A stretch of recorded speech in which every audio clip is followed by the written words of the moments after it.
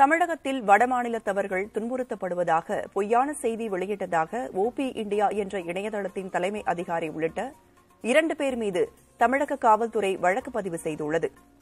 திமுக தகவல் தொழில்நுட்ப பிரிவு செயலாளர் சூரியபிரகாஷ் ஆவடி காவல் நிலையத்தில் புகார் ஒன்றை அளித்தார். ஓபி இந்தியா என்ற டுவிட்டர் பக்கத்தில் வடமாநில தொழிலாளர்கள் குறித்து வதந்தி பரப்பப்படுவதான புகாரில் சூரிய பிரகாஷ் கூறியிருந்தார். இதனைத் தொடர்ந்து ஓபி இந்தியா தலைமை அதிகாரி ராகுல் சூசன் மற்றும் அத்தளத்தின் ஆசிரியர் நுபுர் சர்மா ஆகியோர் மீது காவல்துறையினர் வழக்கு பதிவு செய்து விசாரித்து வருகின்றனர். வடமாநிலத்தவர் தாக்கப்படுவதாக வதந்தி பரப்பியதாக தமிழக காவல்துறை ஏற்கனவே பலர் மீது வழக்கு பதிவு செய்துள்ளது.